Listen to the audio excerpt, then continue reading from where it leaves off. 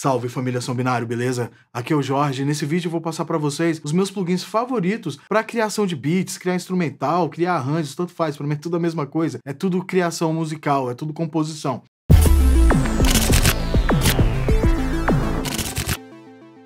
E eu fiquei sem produzir aí mais ou menos uns dois anos, né? Produzindo pouquíssimas coisas. Estava focando muito no curso de mixagem, né? Dando suporte nas mentorias e tudo. E agora eu voltei a produzir novos artistas, criar novos beats, fazer arranjo para músicas de outros artistas parceiros aqui da Seminário. E vou aproveitar que eu tô produzindo bastante esses tempos e indicar os plugins que eu estou utilizando para criação musical, para composição, para tocar, para timbrar, tudo isso. Tudo que eu estiver usando mesmo. E a primeira ferramenta que eu gostaria de indicar para vocês é o Scaler da Plugin Boutique. É um plugin revolucionário de verdade, ele mudou totalmente a forma que eu faço música, que eu consigo acertar as coisas muito mais rápido, eu consigo deixar os meus arranjos, os meus beats muito mais sofisticados, com progressões de acordes muito mais bem estruturadas, muito mais bem pensadas e ricas. E esse plugin ele ajuda tanto o cara que ele não saca nada de teoria musical, e ele ajuda extraordinariamente bem também quem já entende muito. Você vai conseguir botar em prática muito mais rápido que está na sua cabeça. E eu utilizo o scaler de diversas formas diferentes. Às vezes eu começo uma música já nele, começo por, uma, por um estilo musical, por uma escala, por um estilo né, de progressão de acordes, de harmonia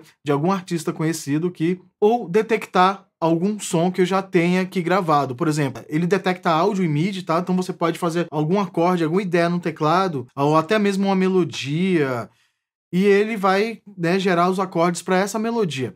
No caso aqui, por exemplo, esses dias eu fiz um riff de guitarra, pedi para o scaler uh, me sugestionar acordes para essa melodia. Eu vou soltar aqui só o riff de guitarra, eu registrei aqui para não esquecer.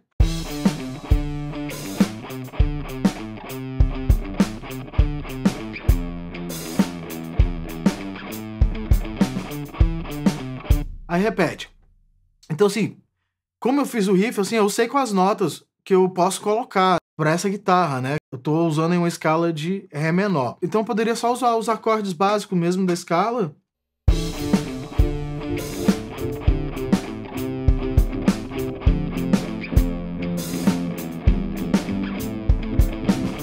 Beleza.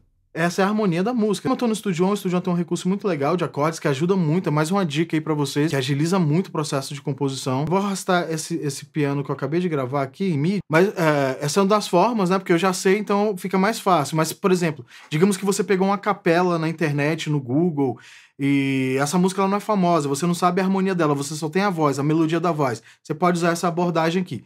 Pedir pro scaler detectar nessa guitarra. O scaler ele vem com duas versões. Vem a versão de instrumento virtual e uma versão para você é, colocar nos seus canais de áudio. Você pode tocar um violão, a guitarra e o scaler detecta os acordes e sugestiona é, progressões para você. É, vou botar aqui scaler áudio e vou pedir para ele detectar que acordes ele me sugestionaria para esse riff, tá?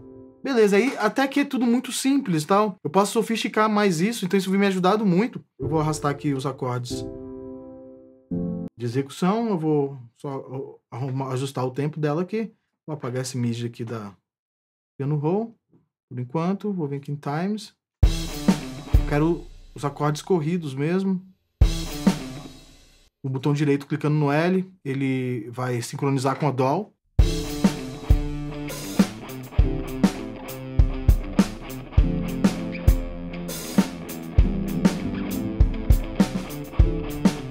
Beleza, então tem aqui uma progressão simples. Agora que vem a mágica, né? Você pode pedir para eles te dar sugestões, clicando aqui em Suggest, e você pode agora intercalar esses acordes, fazer passagens e tal, e experimentando, né, cara? O lance é você experimentar e viajar bastante aí no seu processo de produção. Às vezes eu passo bastante tempo aqui só nessa parte aqui até encontrar aquela progressão de acorde perfeita que, tipo, pega na veia mesmo, assim, que você sente uma coisa legal na música. Aí daí, cara, fica muito fácil compor o resto da música, porque a estrutura principal dela já tá pronta. E o scaler, ele ajuda em todas as situações da produção. Seja você começar uma produção do zero, pegar uma produção de uma música que já, já tá lá pronta, você só vai fazer o arranjo, o beat, né? Você pode pedir para ele sugestionar por escalas, né? Vou trocar esse, esse Ré menor, por exemplo, por um Ré menor com sétima. Aí quando você faz isso, ele tira o tempo, tá? Aqui, coloca dois de novo. Ou você pode deixar só um tempo e botar um outro acorde. É, pedir para ele sugestionar de novo. Vou clicar aqui, ó.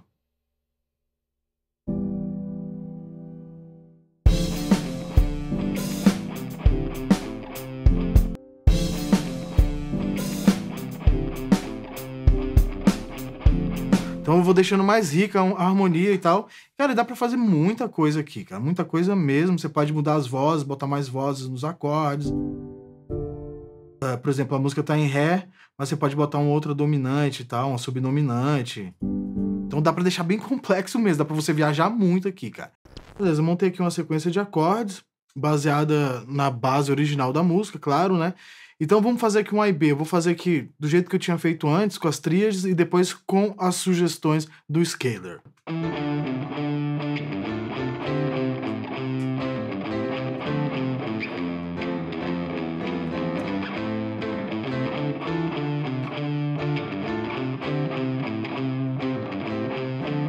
Agora com a progressão de acordes que eu montei aqui no scaler.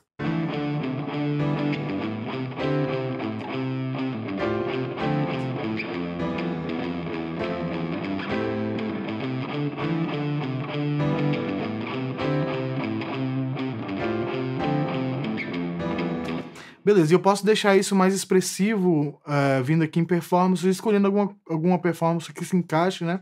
Uh, botei o Humanize também aqui para ele responder uh, o time e o velocity. Vamos ver agora com a performance do Scaler.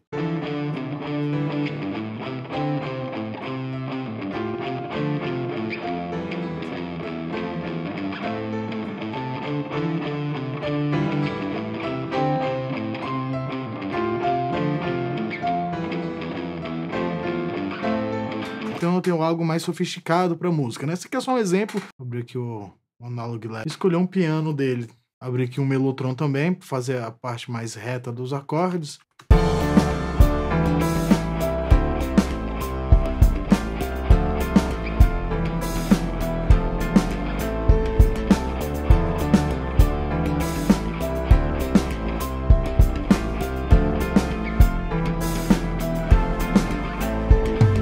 É muito simples, fiz aqui de qualquer jeito, do nada, e saiu isso, né? A partir de um riff de guitarra. Pode virar outra coisa, eu posso até eliminar esse riff depois, se eu quiser. Se a música pode ir para outro caminho. E uma outra ferramenta que eu vou indicar aqui, muito de vocês já usam no dia a dia, que é o Melodyne. Como assim, Jorge? Você usa o Melodyne também para criação musical, para produção? Sim, muitas vezes, velho. Às vezes eu pego um sample ou um loop, às vezes até algum parceiro, assim, que eu tô trabalhando com ele, ele me manda, e às vezes alguma nota tá fora do lugar, ou então, então tá repetitivo, ou tá estranho. Aí a gente tem duas possibilidades. Você tirar de ouvido e tal. Eu passei anos fazendo isso, até que um dia o Melodyne ele inventou um recurso muito legal de você transpor os seus arquivos que estão em áudio diretamente para MIDI.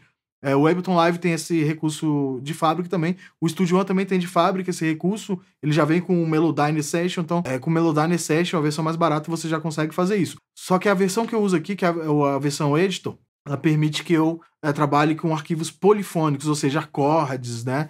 Essas coisas assim, ele consegue ler direitinho. Por exemplo, se eu quisesse fazer uma linha de baixo com esse instrumento aqui, né? Com essa guitarra, tô trabalhando aqui no arranjo e tal, já criei um piano, pá né? Tô criando as coisas aqui e quero criar um sintetizador bem grave aqui. Eu não quero perder muito tempo, não quero tocar no teclado, quero gerar um MIDI a partir desse arquivo. Muito simples, vou dar um Ctrl M e ele abriu o Melodyne.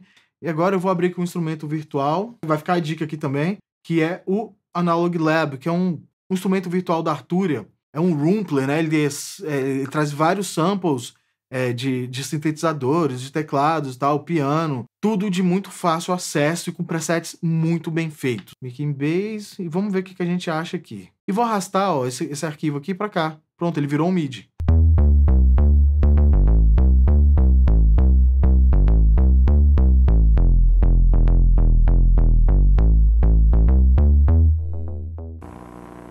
Um outro instrumento virtual também que eu uso bastante é o Superior Drummer, cara.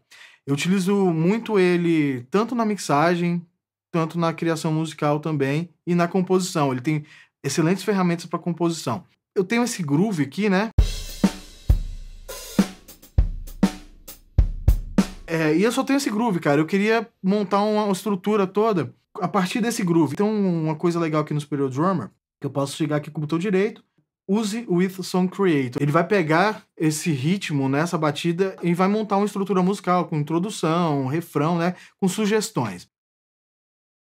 Agora ele criou aqui várias introduções, vários versos tal, para você escolher e ver que se adequa melhor à sua ideia. Tem, tem, várias, tem vários formatos, não, não se restringe só em um tipo, né? Você pode pegar algumas dessas aqui e já arrastar diretamente para sua trilha aqui, uma estrutura toda pronta.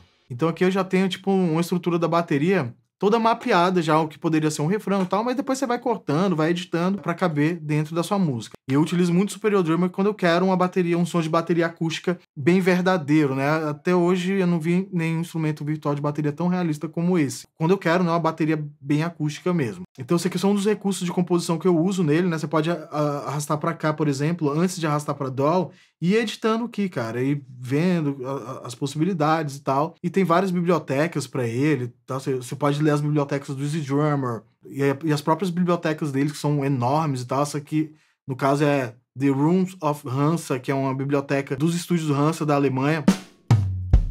Tem muito, tem muito som nele aqui, né? tem alguns presets e tal. Enfim, fica a recomendação aqui. É um plugin bem popular, né? A última música que eu produzi com o Superior Drummer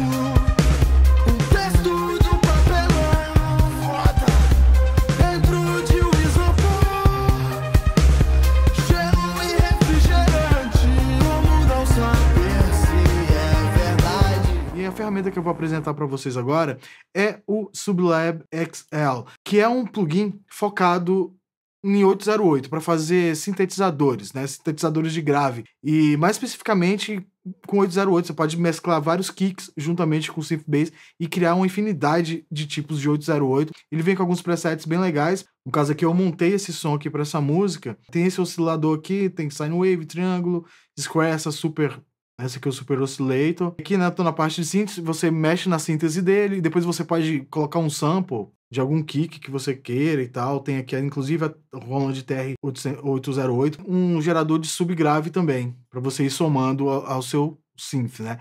Olha só o que, que ele fez nessa música aqui. Vou dar o play.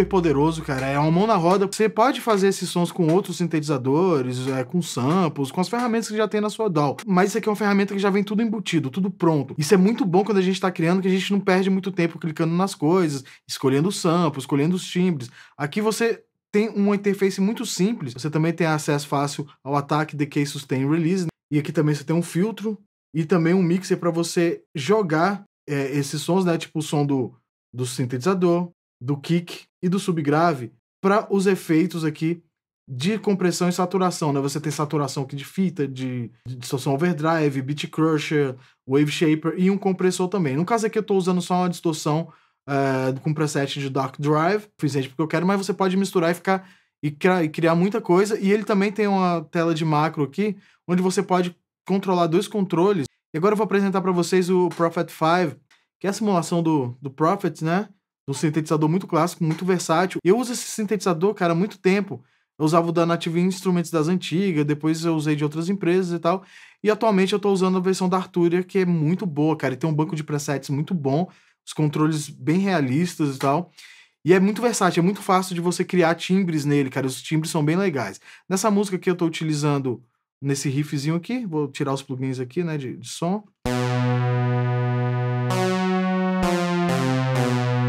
E geralmente quando eu estou sintetizando sons, eu não uso só os recursos do sintetizador, eu utilizo alguns plugins extras e tal para chegar no som que eu quero. No caso aqui eu tô utilizando esse o filter é, M12 da Arturia também, um plugin sensacional, cara, recomendo muito. Eu vou dar o play agora com, com filtro, já em cima do sintetizador, para trazer uma vibe diferente, né, trazer um groove diferente uh, na, nessa trilha. Tipo um trance gate, né? A galera me pergunta muito das baterias das músicas que eu faço aqui. Aí eu mostrei umas já, né, que é com o Superior Drummer, quando eu quero algo mais acústico, mas nem sempre eu uso ela, cara. Mesmo quando eu quero uma bateria acústica, eu, às vezes eu quero uma bateria acústica mais processada, mais estilizada, né? Eu vou mostrar aqui um que eu uso bastante. Você consegue usar ela tanto para coisa mais vintage quanto para coisa extremamente moderna, cara. É o Butt Vig Drums, da Native Instruments. Levando o nome aí do grande produtor Butt Vig, que já tem inúmeros discos gravados aí. É uma grande referência no meu trabalho, assim, eu sempre me inspiro muito na sonoridade dele. Eu tô usando aqui numa música cover, eu fiz um cover do Tame Impala, utilizando meus instrumentos virtuais favoritos, tal, gravei guitarra também, o contrabaixo, o resto foi instrumento virtual. Vamos dar uma escutada como que tá até aqui, né? Preciso ouvir como que é a sonoridade dessa bateria.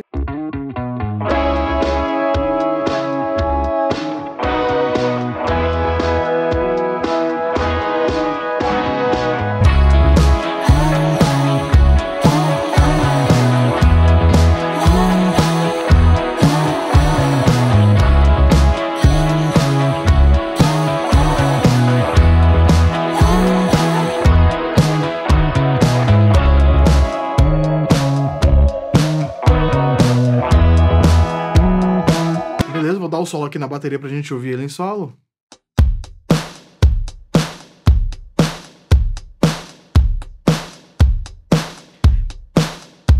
A bateria, a, essa bateria traz uma porção de sample, cara. Dá para você escolher muitos detalhes aqui. Várias snares e tal, tanto de snare. Tem kits à pronta, tem patterns já com os midis já programados.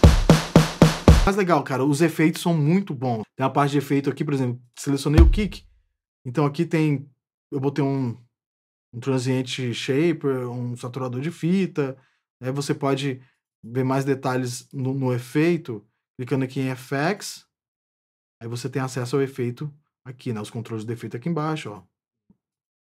Controle do tape. Você pode colocar outros efeitos também. Tem vários.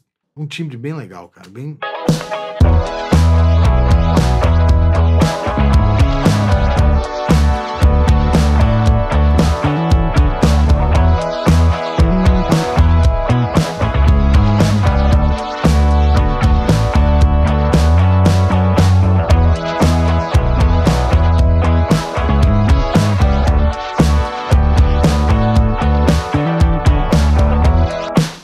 Bateria já está roteada aqui para o mixer, né, os canais individuais.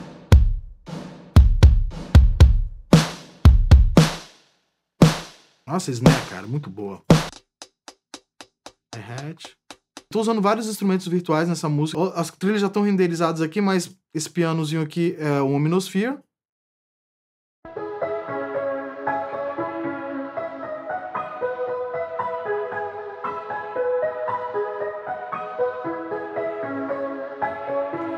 Utilizei bastante o Minosphere. A biblioteca que eu estou usando é a Unclean Machine, que tem um som mais lo-fi, é bem legal para fazer esse tipo de som.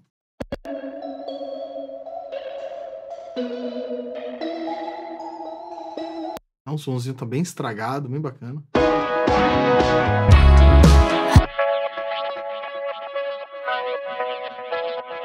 Órgão bem saturado.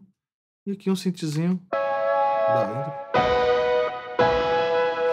onde eu estou utilizando basicamente o Minosphere em toda a música, né? E o, o de diferente aqui de sintetizador, eu usei o Diva da Yuri, fica aqui a recomendação também, que é um plugin sensacional, cara, tem um timbre maravilhoso, ele é bem pesado, então, assim, você fez a trilha, já transforma em wave, né? Já transforma em áudio.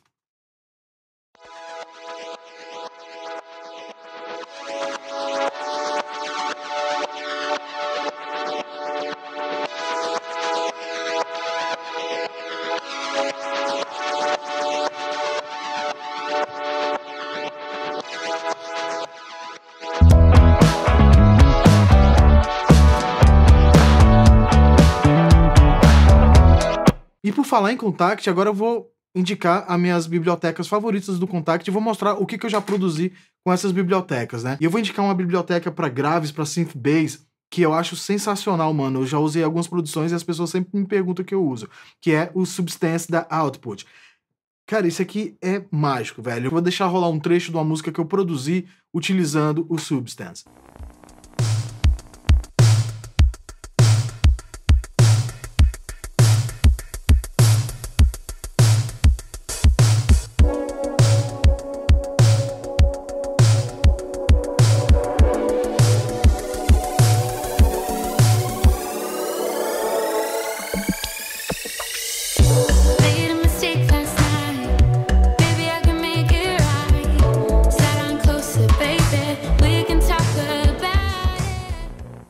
E é um plugin que tem muita opção, cara, para você mexer, equalizadores, filtros, dá para você criar som assim, de forma infinita, cara. E tem um banco de presets enorme também. É bem divertido usar esse plugin. Uh, vocês estão vendo aqui várias é, bibliotecas, né, que eu tenho aqui. Eu vou, não vou falar de todas, vou falar as que eu estou mais usando mesmo nas minhas últimas produções. Tem um aqui que é bem antiga e também as pessoas me perguntam muito sobre essas baterias dos anos 80, principalmente quando é acústica, tá? Eu já falei do Superior Drummer, né, mais uma vez. Eu não uso só o Superior Drummer, eu vou intercalando porque tem baterias que são muito únicas. É, esse Abbey Road dos anos 80, Drums, é uma qualidade que eu nunca vi em outro instrumento virtual, velho. É muito único isso aqui. Eu vou colocar aqui um, um preset que eu gosto, que eu usei em uma das minhas produções, que é o The Gate. E aqui eu abri um preset que tá passando num, num console é, e da EMI.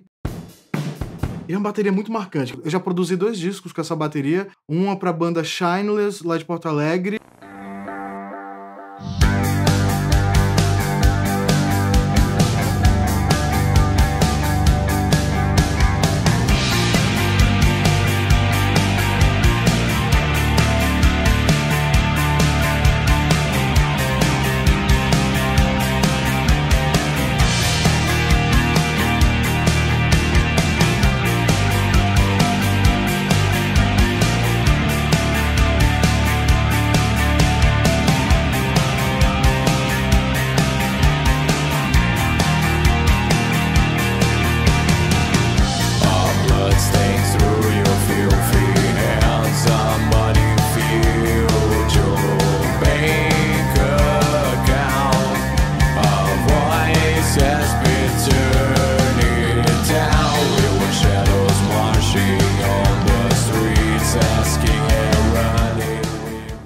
E uma outra produção do disco do meu amigo O Lagarto.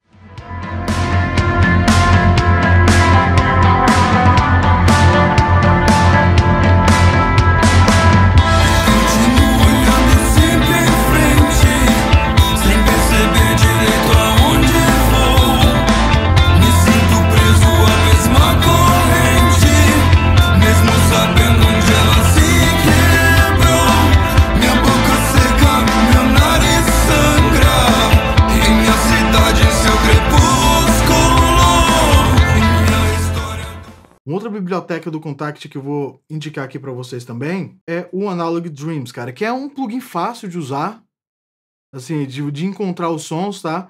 Tipo, você pode encontrar esses sons em outros sintetizadores, Serum, Nexus, essas coisas, mas aqui é muito rápido, mano. Isso aqui eu já usei em inúmeras produções. Eu vou deixar rolando trechos de algumas produções que eu usei o Analog Lab, o Analog Dreams.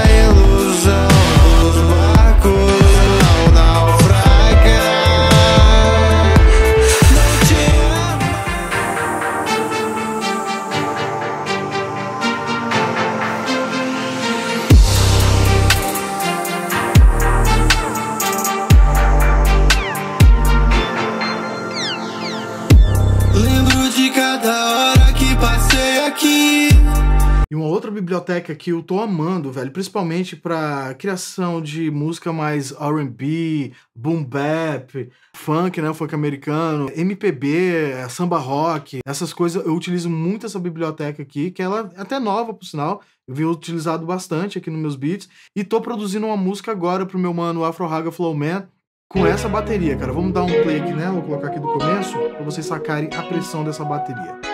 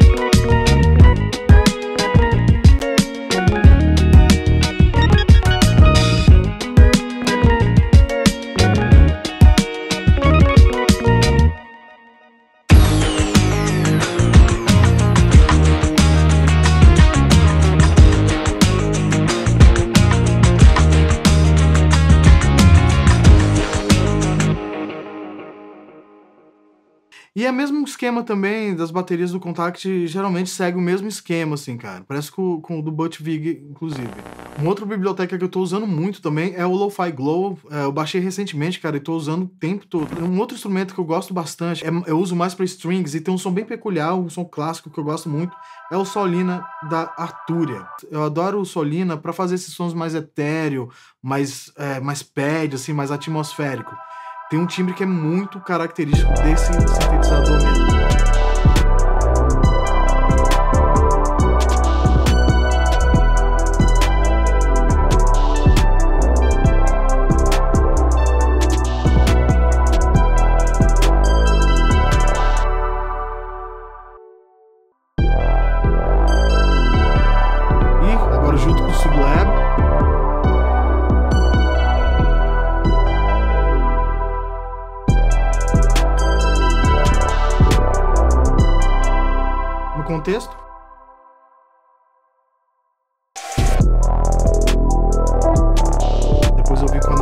Aqui, mais na frente do beat.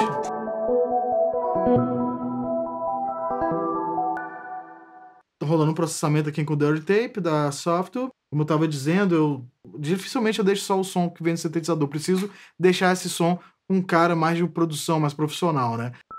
E, claro, chegar no objetivo que eu quero. No caso aqui eu tive que usar bastante degradação de tape. Usei o half time também para dividir no meio uh, esses compassos, né? Ele tem bastante nota, vou dar o bypass aqui no half time.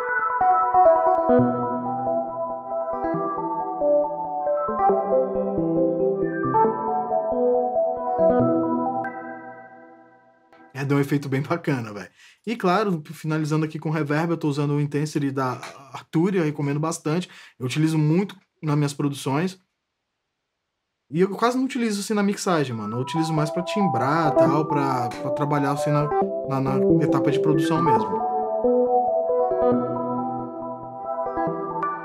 Então é isso, galera. Eu mostrei aqui para vocês alguns dos instrumentos virtuais que eu estou mais usando ultimamente. Eu gostaria muito de saber quais instrumentos virtuais vocês indicam também. Deixem nos comentários. Gostaria muito de saber a opinião de vocês, porque tem muito instrumento virtual e eu adoro testar isso. Então, se vocês recomendarem alguma coisa aí, eu vou atrás. Se eu gostar, eu faço vídeo também a respeito dos plugins que vocês estão me recomendando. É isso, até o próximo vídeo.